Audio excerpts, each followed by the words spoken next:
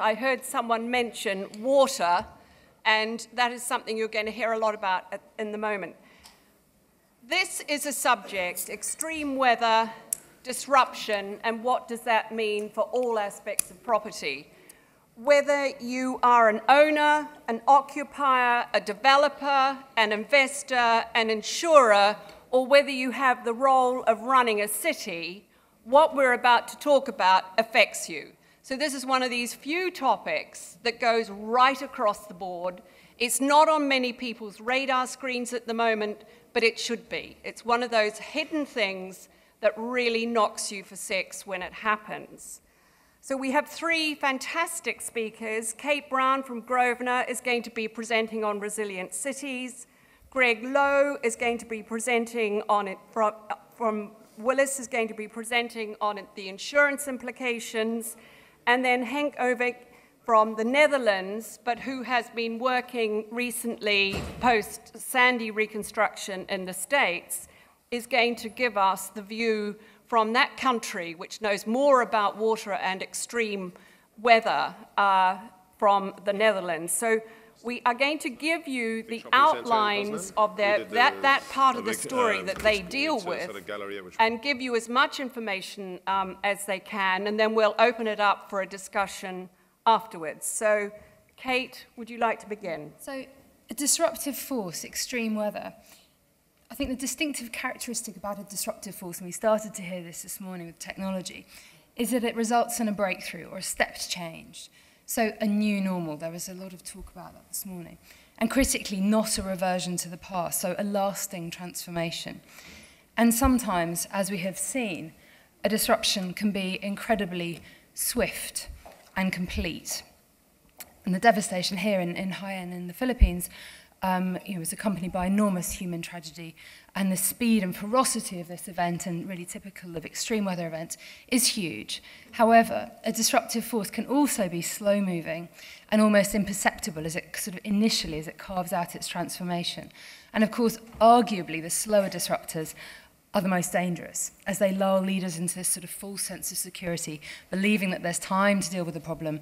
And of course, that's the case with climate change and global warming. The end result, though, is the same. The disruptive force leaves a sort of permanent imprint on society and businesses, and they can't continue to operate in the way which they did before. So as we've heard this morning, you know, there are huge risks for companies which aren't attuned to the disruptive forces and aren't thinking about them. Um, you know, hindsight is a wonderful thing that we can apply now to many industries. But at the outset, there is little certainty. Um, and in fact, there are significant uncertainties So whilst the signs sort of that something is approaching might begin to become clear, you know, what that will be, when it will happen and how it will manifest itself all remain unclear.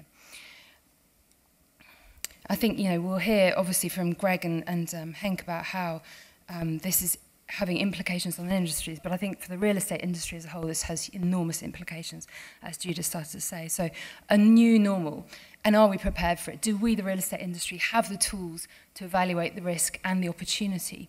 Can we start to make decisions in this environment of enormous uncertainty with confidence? you know, and to the question that we were posed, what are the practical investment implications of extreme weather on real estate? And this is something, I don't know how, how much you all know about Grosvenor, but interests us because we do think very long term. Um, so when you sort of start to think, well, how can we start to evaluate these issues systematically, all these complexities? And that's something we're particularly interested in. We're invested in 65 cities internationally. And we take this long-term view, so starting to think, well, how could we decide between cities almost in terms of long-term planning where we want to deploy our capital internationally? Now, historically, we'd made decisions around where to invest evaluated on the value drivers, essentially, as I see them as city level of GDP, connectivity, and livability. But when we started thinking about the sort of the new norm, as it were, these seemed inadequate. They don't take into account the risks associated with the disruptive forces, of which extreme weather is one. Um, so if you take this sort of longer term perspective and you really believe that sustainable or successful real estate projects depend on long term stability and prosperity, then you need to really systematically think about that risk. So when we started trying to think about this, we basically set about this research report, which does, as Judith started talking about, um, rank 50 global cities. Um, and the measure which we chose to do that by was resilience. That's a word we hear a lot. And what did we mean when we were thinking about resilience? Well, we started with the IPCC definition. So, this ability to absorb disturbances and to sort of have the capacity to adapt to the stress and the change. And this is obviously a process of enormous change and, and therefore huge implications for cities and for us as investors in cities internationally. But that seemed too sort of you know, high level, and um, we really needed to pin it down to our sector and our industry. And so we sort of almost reinterpreted that for our purposes and said, okay, well, we think for city level real estate industry, this means the ability of cities to thrive as centres of human habitation, production, and cultural development, despite these challenges, despite the disruptive forces essentially of climate change, population growth, and globalisation. And the implications for the property sector um, are inevitably that re resilience will allow cities, we feel, to preserve capital values and generate sustainable rental income in the long term you know, it's fair to say city resilience isn't a new concept, um, and there have been many tries and, and sort of tested ways of looking at this. Um, our particular approach models resilience as a function of a city's vulnerability and adaptive capacity. So vulnerability being a function of exposure, how frequently will events happen, and the sensitivity, you know, what will the impact be on the city of those events. And the adaptive capacity determines um, the city's potential to cope with those events. So essentially it's what vulnerability mitigated or moderated by adaptive capacity. And adaptive capacity is both reactionary and predictive. So it's you know the city's ability to moderate and adjust to potential impacts and threats and to cope with the events when they do occur and really capitalize on those opportunities. so it's worth saying that this study did go far broader than just extreme weather events, which is obviously what we're focusing on today. But to give you a flavour of what we looked at, we started with um, vulnerabilities, so climate, that's physical events, um, so really what we're talking about today, sea level change, hurricanes, typhoons, wildfire, floods, droughts. Um, and community was looking far more at sort of the, the sources of social tension, so affordability, which we all know is something um, incredibly um, topical in our markets at the moment, education, health facilities, it's sort of real cultural freedom and corruption. So, you know, what, what, what is the sort of ultimate um, in a city that you would be looking for?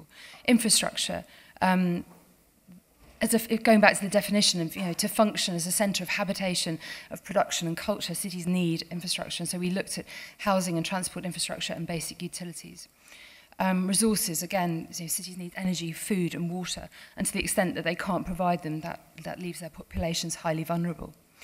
Um, and environmental, we looked at pollutions of all kinds and, and also included in here the overconsumption of land due to urban sprawl. So very much at the heart of kind of the ULI uh, mantra of, you know, um, of responsible land use. That then enables us to overlay um, cities, and I've just used five here to give you a sort of sense of the global sample.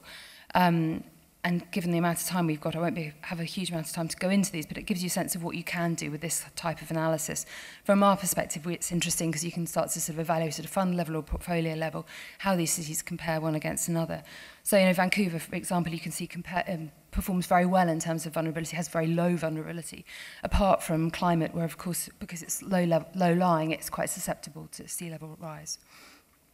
Whereas you look at Shanghai and, and there's high levels of pollution there by comparison to Vancouver. Uh, infrastructure, um, London, New York, Vancouver all perform relatively well compared to Mexico City where it's relatively poor. Um, that then enables you to sort of start thinking about the case studies of each individual city. Um, London is obviously a city we're, we're have a huge presence in and therefore very interested in. Um, it ranked 18th in our study, but it's worth saying that that's obviously relative ranking out of those 50 cities and is still overall quite resilient, but um, it has the prime vulnerabilities of crime, air pollution, affordability and ageing population.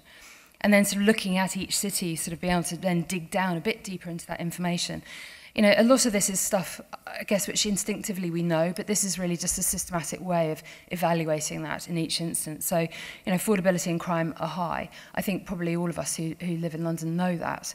Um, you know, it's interesting because the crime is actually polarised into sort of petty crime and then also the other extreme, this sort of terrorism threat.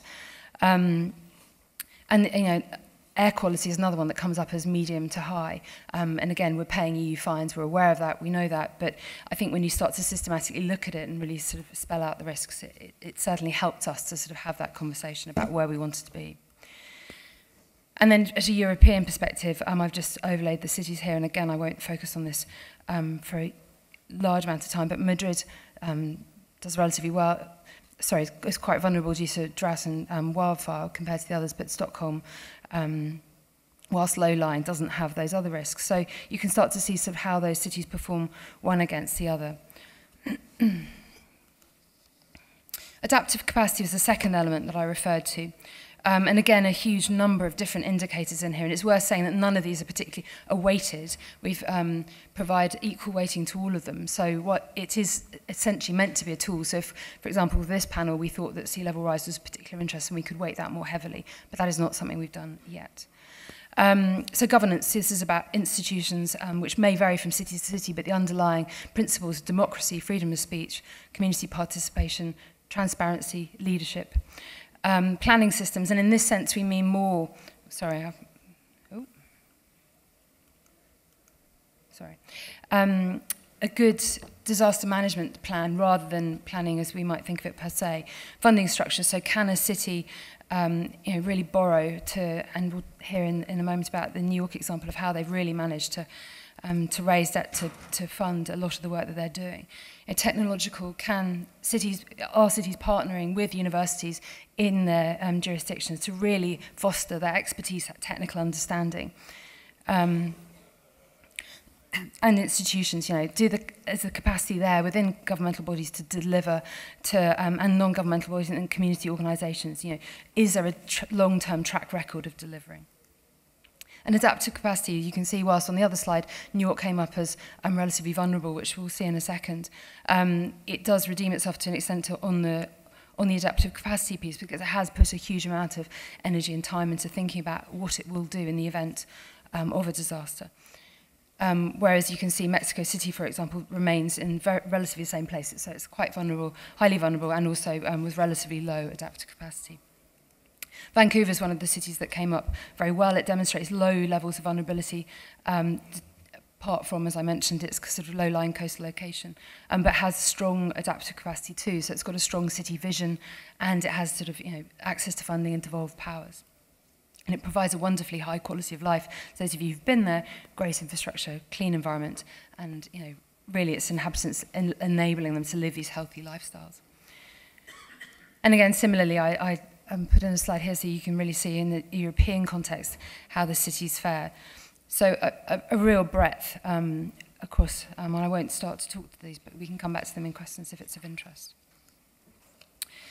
And that then enables us to plot the cities one against the other on this graph, um, and just very simplistically to take you through the sort of themes Um, the most resilient cities that we found, the three were Canadian cities, where the economy was reasonably dynamic, there's sort of high level of resource availability, and the cities are well governed and well planned. Um, the US cities were interesting because, like New York, as I was referring to, they demonstrated relatively high levels of um, vulnerability, but yet redeemed themselves with, with high levels of adaptive capacity too. Having made that investment, having got those plans, having that sort of city vision, being able to prioritize the investment. Um, the middle group um, was more the European cities.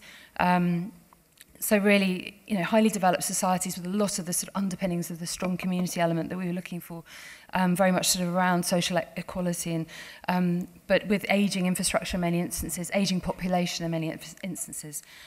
Um, and then the weakest were the emerging markets. So whilst there's sort of been blistering um, economic growth that hadn't fed through really into the resilience of cities, um, and you know largely this is due to the sort of inequality, poor infrastructure provision, and in many instances environmental degradation. So I think my, my challenge to, to sort of this group and um, to ULI as a whole is, you know, how can we really work with these things? We know this is a sort of a, a disruptive force that's coming, um, how can we really engage with that and ensure that cities are not in the position of when um, many of us at the P PCSI event went last year to Manila and confronted with you know this situation where they just experienced high end and were really sort of in disaster recovery mode. You know how can we ensure that cities are in a position to attract and retain um, foreign investment and really to prioritize that investment when it arrives to know what they want to do with that at a city level. So I'm just to really echo um, what just said in the opening, you know, the disruption has started, the effects are starting to be felt, and that's only the start. It's only going to gain in momentum. Um, but I think you know, some hugely sophisticated thinking, which you'll hear from my co-panelists, um, is starting to emerge. You know, we can't evaluate markets in historic terms, and we need to think about new tools and really work with the finance sector, the insurance sector, etc., to, to leverage that to the greatest degree. Thank you.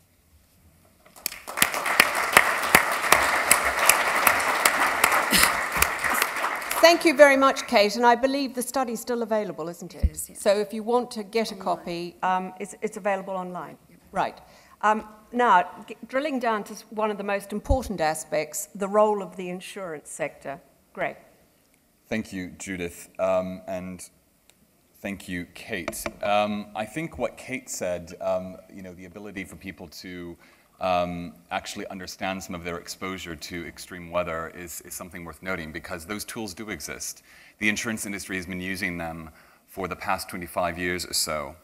Um, before I get into some of those tools, though, I just want to give some context as to what's going on in the insurance sector, what's, what's happening in terms of the number of meteorological events that are occurring, and the trend we're seeing in losses. Um, so we all know the familiar story of growing cities. Um, you can see that many of these cities uh, are actually in the developing world. So Europe probably is not um, certainly on the radar for the cities that are growing massively in terms of the number of assets. Um, and, and many of these cities you can see that will be uh, the biggest cities in, in 2030 are actually in highly exposed regions to natural hazards. Um, so we have all this economic growth and, and exposure is growing. Um, a lot of the evidence that, that we've seen has suggested that the increased losses are due to growing exposure rather than climate risks for the time being. So this, this actually illustrates, um, you know, if, if there's no one living in a place when, when, a, when a hurricane or an earthquake hits, you- know, it's, you're not going to experience any uh, severe humanitarian or economic losses. And this just goes to show uh, the change in, the environment in Miami in, you know, roughly the past um, 90 years or so. Um, and then where does climate change come into this picture? Well, it's the icing on the cake. Um, on the, on the uh, left-hand side, you can see the number of, of weather uh, catastrophes increasing. So those are only meteorological events. Um, they don't include anything from seismic activity. And on the right-hand side, you can see the number of insured losses are increasing. Um, again, we think most of this is due to growing exposure rather than climate change. But as Kate said, the past is not necessarily an indicator of where the future is going. Um, so exposure is something the insurance industry understands quite well. Um, I, I want to tell you a little story on how we've gotten to where we are today in terms of measuring risk. And it actually comes back to some of the discussion in the, in the last panel around capital. Um, right now, the insurance industry has a surplus of capital. Um, capital's pouring into the reinsurance sector, particularly in insurance-linked securities. Um, they're non-correlated assets. Um, how did investors decide to give the insurance industry so much capital when you see a lot of trends out there that would make it look like we're living in a riskier world? I'll tell you, in the late, uh, the late 80s and early 90s, the insurance industry was in an existential crisis. You had several severe hurricanes in the US, you had the Northridge earthquake in 1994, and the industry is really in shambles. Along came something called the catastrophe modeling firms. Uh, the growth in analytics and technology allowed us to actually model what the risk exposure was to particular uh, properties, particular regions, um, and we were able to begin pricing risk accordingly. It wasn't just based on a historical record of losses, it was actually based on probabilistic losses based on science and data.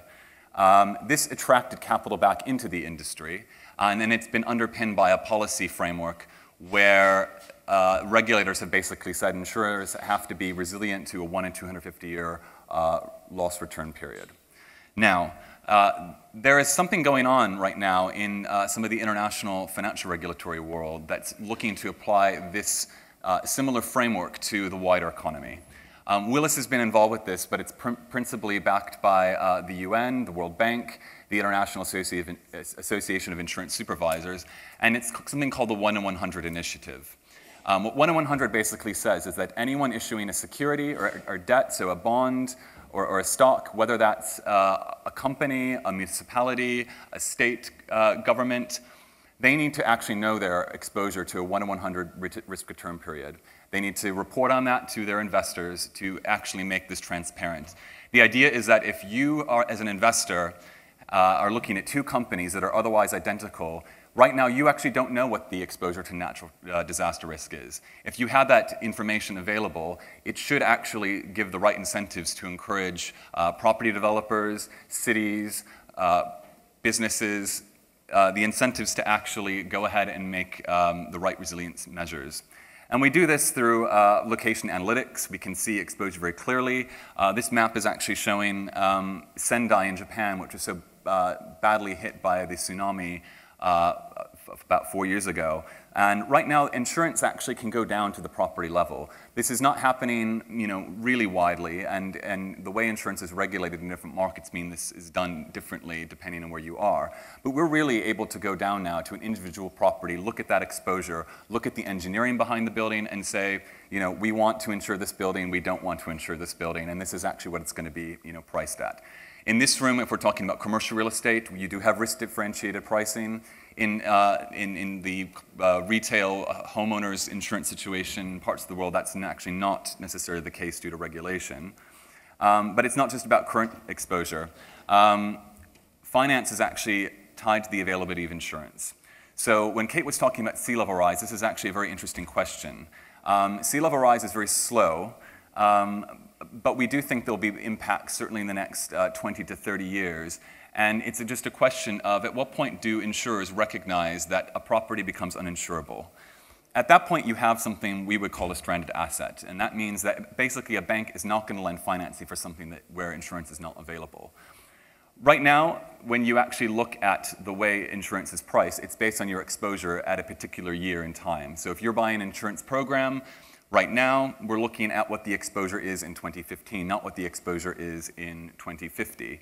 Uh, that's because your policy only typically runs 18 to uh, 24 months. Um, but the same tools that we use to evaluate risk now, we can use uh, in a scenario basis to look at future hazards.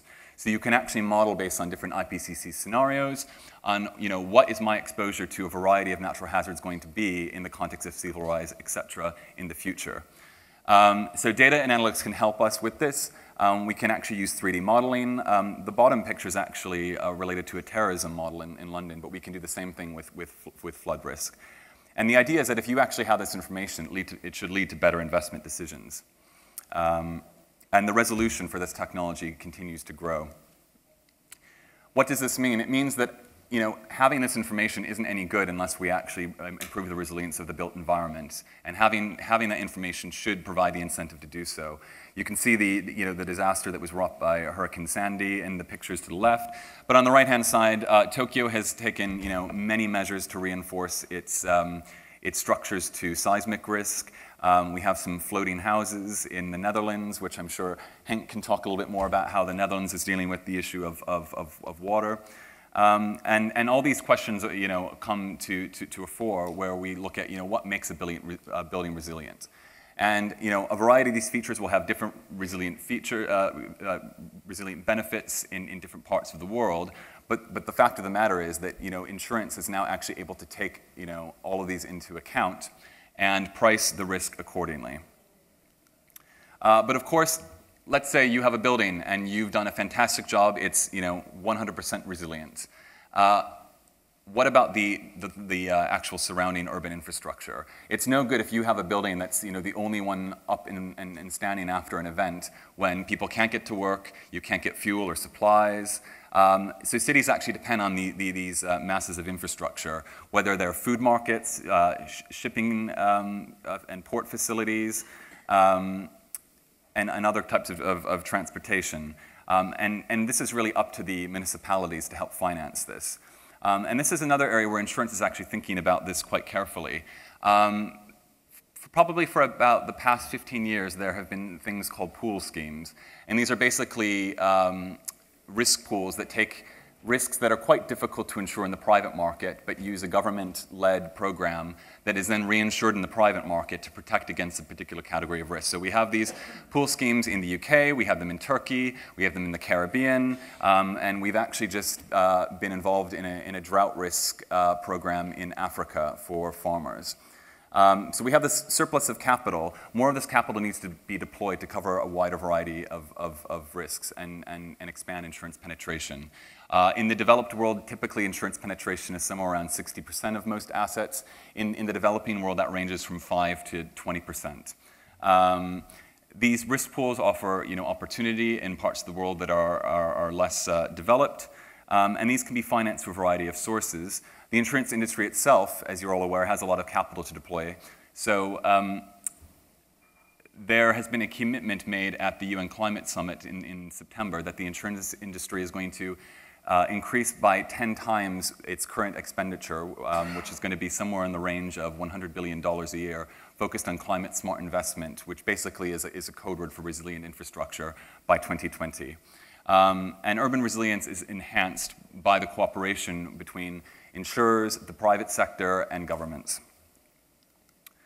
So the decisions we make today are going to be with us with, uh, for, for, many years. Uh, if you're building a building now, um, what's actually going to happen is that that building's probably going to be around for 50, 60 years when the exposure is very, very, very different.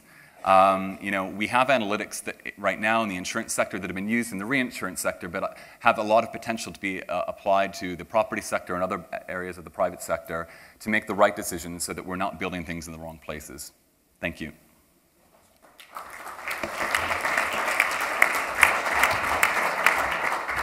Thank you very much, Greg. Um, we're now going to hear from Henk Ovink, and those of us who were at the Sustainability Council yesterday heard him talk compellingly about Sandy and the uh, reconstruction.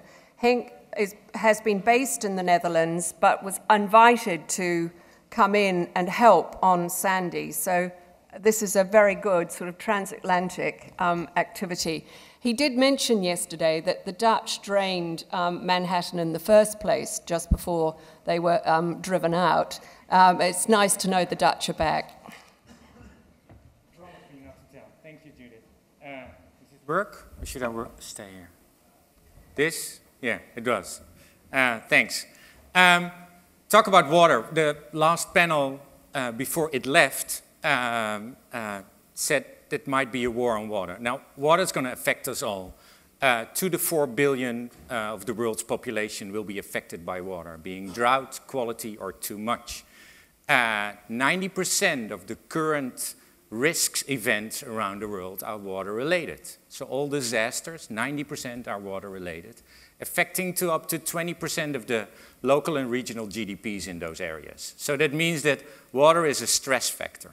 Uh, uh, and climate change shows that the impact of climate change uh, is mostly felt uh, upon societies, upon cities and regions, upon people and businesses through water. Now, we all known this for uh, decades or even ages when you live in the Netherlands, uh, but uh, luckily, um, uh, quote unquote, the World Economic Forum report now also acknowledged that risks, putting water on number one when it comes to the impact of the risk in the future. Now that's not only interesting, it also shows that the last panel was totally right, that when it's about money, uh, you have to look at water. Uh, we are doing a, a, lot of research on it in the Netherlands, to, and this is only one example of the World Resource Institute, mapping the risks of water. And this is only one part of the risk, and you know, believe me, red is not good. Uh, if you match that risk with urbanization, and we all agree we have an urban world right now. We, uh, uh, uh we, will, we will get to 75%. Uh, that's already there in Europe. Again, if you match that development with the increasing risk when it comes to water, uh, you have your delta of change or your objective. Now that's the bad side, but water also connects. You all know that. You invest in places with water. You like waterfronts. You like to live in those deltas. They are prosperous places. They have great soil, uh, and you can uh, reach the world. So water is also a connector, it's an asset. But it's not an asset when it hits you hard. Uh, being Sandy in New York or any other storm or typhoon in the Asian uh, region or in Africa, uh, uh, when water hits, it can actually kill and be devastating. Climate change comes into mind. Uh, but as Greg said, climate change is slow. So slow that any political decision or any investment decision is actually out of reach. So climate change, we look at 100 years, while the return on investment, we look at 5 to 15 years. So that's why we spend billions of dollars in the floodplain in Miami and in San Francisco and all over the world uh, at risk, not caring actually about that future that will actually come into mind. Now, President Obama immediately understood when he uh, stepped into office in 2009, January 2009, that climate change was going to be part of his, his ambition. Although the first term didn't show a lot, he started to work already on the response strategy as well as on the uh, preparedness one. Uh, and his line, you can ignore the facts, but you can't deny it, it's pretty tough in the US when the Republican Congress uh, uh, just acknowledged that we actually can't do anything about climate change, it's up to God. This is Senator James Inhofe, and he is actually the chair of the Senate Commission on Climate Change. Yeah, you laugh, but it's actually scary. Huh? It's very scary. You know where we are. It says, You are there. And we tend to look back because that is something we can actually cope with or deal with. But if you look ahead and you take climate change and sea level rise and temperature increase and urbanization, this is our future. And that future looks pretty uncertain. So if we want to deal with it in design or innovation or investment or uh, research, we have to think about that future and not so much about the past. World Economic Forum reports are great. They not only show the risks, uh, they also show that the likelihood and impact of all risks are increasing. Likelihood and impact are increasing. And those are water crises and climate change and uh, biodiversity loss, uh, but also man-made uh, environmental catastrophes. Now that's the bad side. So that side of the slide is the bad side of the slide. The good side is that all those risks are related to each other. And you could say that's even scarier. Uh, but the good thing is that that relationship actually boils down on the urban scale, on the regional scale. And this is exactly the place where folks like you and I and uh, our panelists work on. This is where we come up with finance strategies. This is where we design on and develop on. It's the scale where we can actually intervene, adapt, and mitigate upon those risks. So that interdependency is our way forward and way out. Now, this is the, the base when Sandy hit. And Hurricane Sandy was not the worst storm ever. Hurricane Sandy was a superstorm when it had made landfall. We have seen worst storms in Asia. Uh, but why do we talk about Hurricane Sandy? Uh, it's because it hit New York. And everybody knows New York. And it made climate change all of a sudden very tactile and in your face. Because every kid in Mumbai, in Istanbul, uh, in Cape Town, or in Amsterdam knows a story about New York. And when such a city is hit, you have to exploit that opportunity. Sandy showed that World Economic Forum report is real. And I think that, you know, it's always great to have research, Ah, but when it comes to practice, you know what you have to do. It showed that the vulnerabilities in this region are great. 75% of the power supply is in the floodplain. 80% of liquid fuel storage in the floodplain. 20% adjacent. This is New York City. This is not a developing, country. well, some say it is a developing country. Uh, and I will, uh, I will show you because there, ah, I can't reach it actually. Uh, uh, there's a, uh, a, place in Newark I visited right after Sandy, uh, and the water was almost as high as this room. Uh, it's an industrial facility, social housing, low-income housing. The water was high, storage of Agent Orange. You're old enough to understand what that is. and they had to close the playgrounds because the soil lit up at night. That's what some of the neighbors said there. So the, the, soil actually didn't lit up at night, but they closed the playgrounds because it was so contaminated. And this is exactly this interdependency. It's not only physical infrastructure, it's about culture, human, ecology. Everything comes together, and water actually matches that. So Sandy raised those questions on physical and social resilience across the region, showing the vulnerability across the region, taking out the power grid of Manhattan, and that in a region which is not an example of good governance or good government.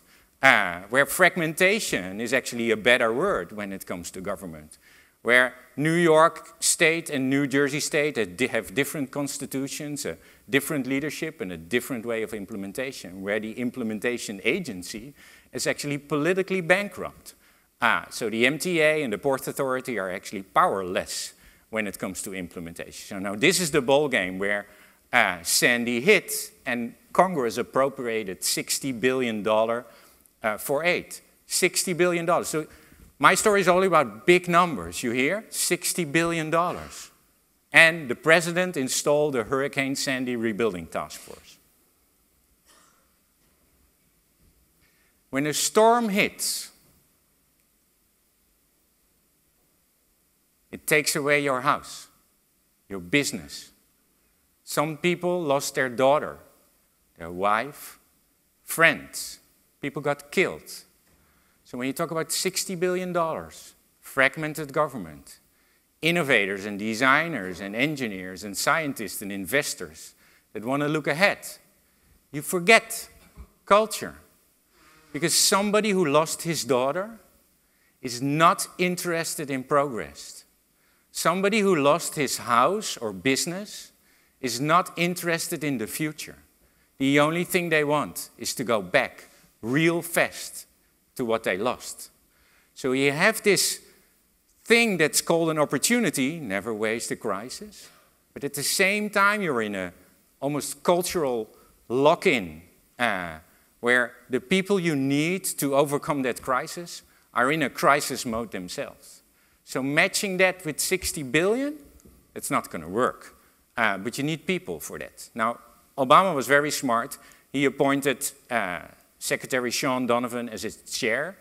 Donovan is a former commissioner of New York, born and raised New Yorker, architect by training, married a Jersey girl, so he knows the region by family, you could say.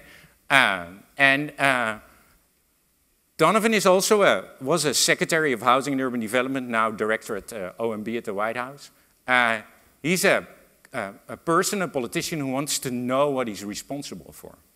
So we was thinking housing, I know, the region I know, the politics I know, I know everything about finance, so I can deal. No, I don't know anything about water. So he went to the Netherlands, which is my home country, and I was Director General for Water and uh, Spatial Planning in the Netherlands. And I toured him around for two days, showing him the history by facts. How we've been dealing with these water issues for not years, not decades, but ages.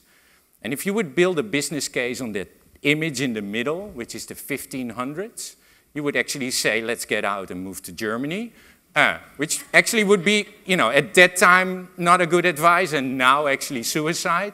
Uh, but it's true. You have to almost be crazy. But this delta of rivers and this prosperous land actually was the opportunity for the Dutch to, you know, to go all over the world and do trade and build cities by making land. We created land out of water, at risk all the time. So this was not about a war with water, which is always the best, worst perspective. This is about living with water, embracing the risks and turning them into an asset. We turned it into a culture, a culture where we built those polders, not only because of great engineering and design, but actually about collaboration. The only way forward was collaboration. So people got together and said, we want dry feet, let's organize our government around it. So we, before we became a kingdom, we had our first water democracy already in the 1100s. So now that's so institutional that we build our country on it, and we coped with our Sandy in 53 that took out almost 2,000 people uh, and, uh, and, and, a lot of death, uh, and came up with a response plan and protection strategy that is layered and embedded and ingrained in our policies, in our investments, in our regulations, and in our government. We even have a commissioner for it. The guy's called Wim Kuijken, and he's dedicated to the job, and the only thing he does is run the country on this Delta approach. So Donovan, when he went to the Netherlands in these two days, said, Henk, it's cultural. Can you make it cultural in the US? I said, well, can you make it cultural in New York? I said, well, that's a start. Uh, we've had our, our, our connection there. This is the chart of that culture in the US. This is the amount of money the federal government is spending in disaster response. From the 80s until now, it goes up from around 10 billion to almost 100 billion a year. And this is repair money, only band-aid money. This is not money to prepare, this is money to repair. And you get this, you know, houses on stilts. And this is actually a federally funded program we call the National Flood Insurance Program. Uh, they just take away the crates and put in concrete uh, uh, stilts, and that's what it is. And this is actually the situation we have in New Jersey uh, uh, in a lot of those places. So Obama was smart. He presented the climate action plan together with the Hurricane Sandy rebuilding strategy. And part of that strategy was innovation and a time to think. And Donovan asked me, while I was working with him in this Hurricane Sandy rebuilding task force, uh, can you come up with an innovative approach so we reach for the future and not start to repair? Uh, and I said we have to create a process, a place on the edge of government, science, the region, NGOs, a place where we can trust each other, where we have an open mind, but also where all the talent of the world can actually meet the talent of the region.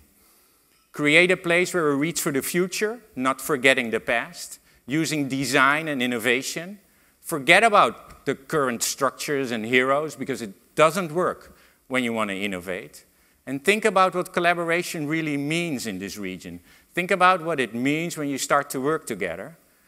And that starts with inclusive leadership. So always the door open.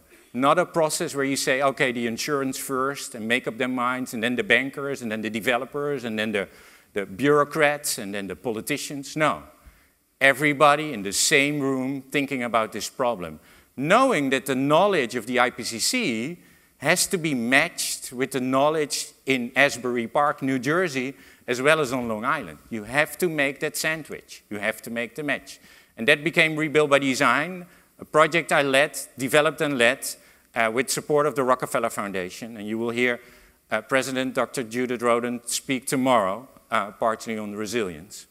Um, the whole competition started with a call for talent of the world. We did a research all over the region and worked together with over 500 organizations, over 2,000 people. At the end of the research, we presented the vulnerabilities and interdependencies of the region and 41 opportunities to move forward. And the, these 10 teams that were selected out of 148 got the task not to design solutions, but to build coalitions. And once those coalitions were in place, local communities, bankers, mayors, uh, community leaders, researchers from the region, being met by this leadership from the world, they started to design proposals, 10 proposals, where we selected six and funded them with federal dollars.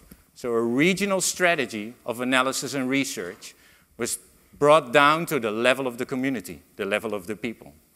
We matched those six projects with almost a billion federal disaster recovery funding, uh, and we're now in the midst of the implementation process.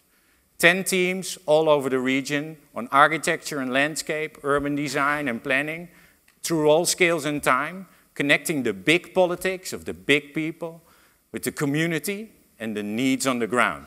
And we use design for this process to innovate. Uh, and Donovan announced six winners on June 2 uh, and allocated the dollars. So leadership, collaboration, and innovation brought a cultural change by design.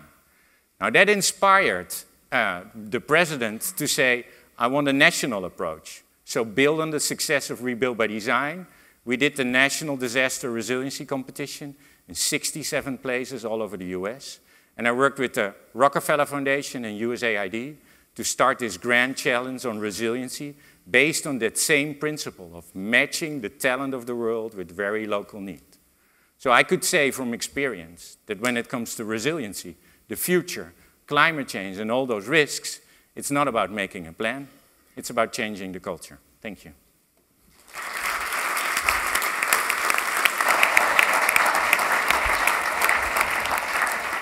Thank you very much, Henk. Now, do any, do any of you want to comment on what's come out of each other's presentations, or shall we open it to the floor? Any, any comments? The only question I have, uh, uh, from the report you, you did on resiliency and the IPCC definition on resiliency. what, I, what I miss and what I try to highlight in the process we did in New York, but also doing now in other places in Africa and Asia and, and other places in the US, is that it's, to my understanding, when I read it, it's a pass, almost a passive approach. Uh, well, I think if you can embrace risk as part of a, because, you know, World Economic Forum report is not the only report. We're facing risks all the time. So not be uh, ignorant to the risk, but actually exploit them, embrace them, and use them, and be part of the culture. So I don't, I don't know how that ever came up, uh, but I was, I was hoping that would be. No, it's interesting because one of the questions that often gets asked of the report. Oh, you'll have to speak up. I'm not sure it's working. Oh, there yeah. it is now. Um, one of the questions that's often asked of the report is, oh, well, does that mean you therefore wouldn't go into markets that don't come up as resilient on your rankings? Right. And that's not at all what we're saying. Hmm. So it's very much exactly what you're saying, which is, well, no, it's about understanding the risk and working with them to ensure that you're more informed making that decision rather than saying, oh, no, we wouldn't do that, because that's absolutely not the purpose of it, but it's to evaluate systematically rather than it kind of being anecdotal evidence of sort of why someone may or may not like a market, you know, and, and based only solely on the value drivers, which was always the point in the past. Yeah. Right. Now, any questions from the floor? Yeah, good afternoon. Um, so, sorry. Right, yeah. I was just sit, sitting next to her, so I grab that. Yeah, good afternoon. Mark Coddington, PIE. Um, how does the panel respond to counterintuitive scientific research, particularly when it's being fed to the investor community. The two examples I give you is the global dimming research of 2002-2003, and more recently and ongoing, the clean air impacts on the intensity of hurricanes, which I believe is still taking place uh, in Mississippi and obviously in the light of Hurricane Sandy. How do you control the information going through that it doesn't have a ridiculous effect and a particularly negative impact on the investor community? I'll take another one right in the front here.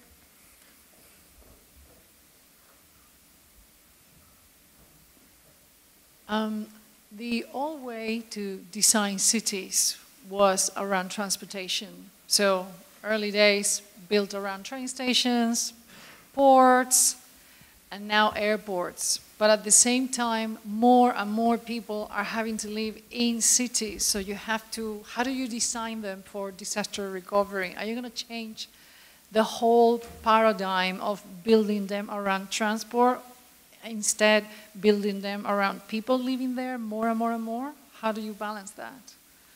Right, we've got time to take one more. Is there another question?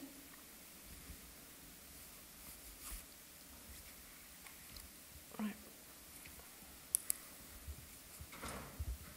Um, hello? Uh, yeah, it's a question to Henk. Um, I think it's fantastic uh, what you presented about the, the, the, the Dutch uh, way of living with uh, water living underwater for 500 years. Um, how do you, in, in, rea in reality, how realistic do you think it is to change the culture of a country like the United States, which is so completely different on every level, structurally, uh, politically, than the Netherlands? Right. Who would like to begin with the first question in relation to investment? I'll, I'll try and, uh, and address that. Um, I think what you're asking is how do we make sure that uh, particular scientific reports that come out don't scare investors away? Um, I mean, I think you know the lessons that we've used in insurance are, are, are very clear. That um, you know we take scientific evidence, we take a variety of peer-reviewed research, we employ teams of scientists, and we build models um, that give you a financial exposure. Um, you know, it's not, it's not a matter, I think, of, of suppressing reports or uh, downplaying this or, or, or, playing up something else.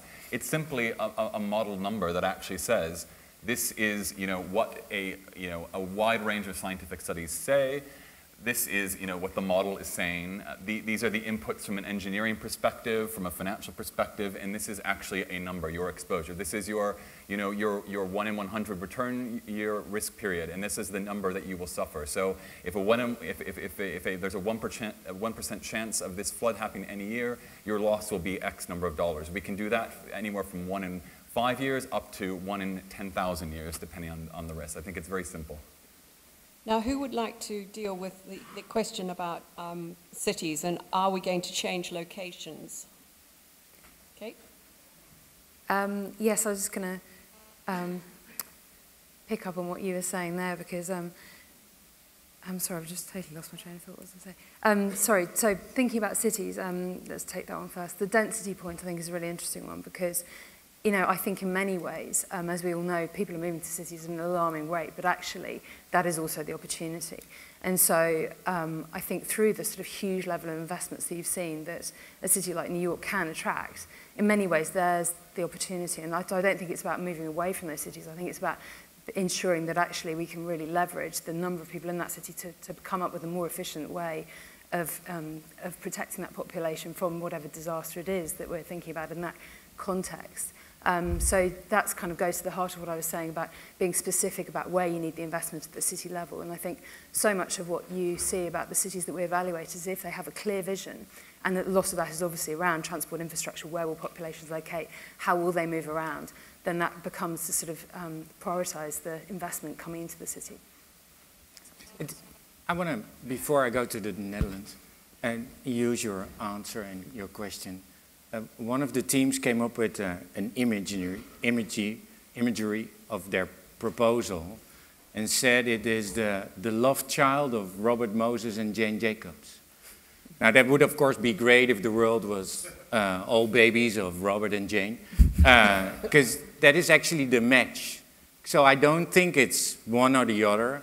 I think it's actually the marriage of the two uh, that will have the same as a, an, an approach is never only local.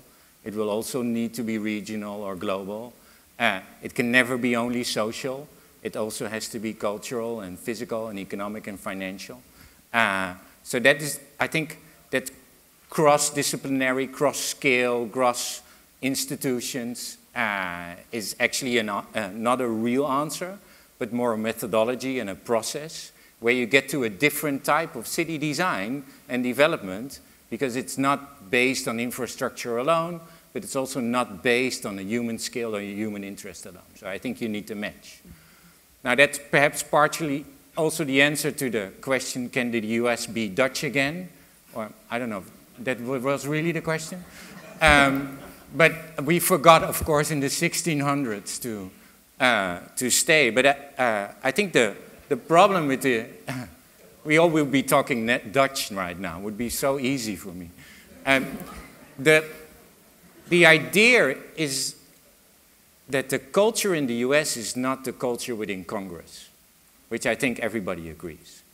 So once you get on the ground, so Hurricane Sandy did not make a distinct between Republicans and Democrats. And they actually collaborate on the ground in the region. Uh, so I think that's one uh, that you see, and the Brookings Institute uh, with uh, Bruce Katz is doing a lot of uh, research as, as, well as others to showcase that the regional urban scale is actually uh, the scale where people get together and build solutions, and those solutions and approaches are very forward-looking and uh, can inspire the world and not only and, and, and do not relate to this this very conservative culture. At the same time, I do agree with you, it's tough. Uh, and that's my last comment. Uh, when the federal government poured in $60 billion in this region, I asked the insurers uh, and the investors what their answer was. And they actually said, was there a question? And I said, no, but it is an opportunity if a federal government pours in 60 billion, and for the, even for a city like New York, that's a lot of money, uh, and it's tough to spend. Uh, could it emerge, could that start uh, a collaboration between public and private? And the problem in the US is actually there's the distrust between government and society is so enormous uh, that I think that is the, the cultural change uh, uh, part of the process has to focus on. Well, can I say a huge thank you to the panel because they've covered an enormous amount of ground and I hope they've whetted your appetite for further sessions on different parts of resilience and sustainability coupled with extreme weather.